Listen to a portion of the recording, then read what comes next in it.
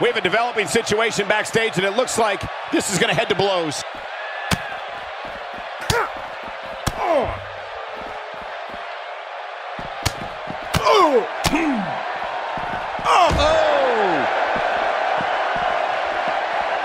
What physical brilliance.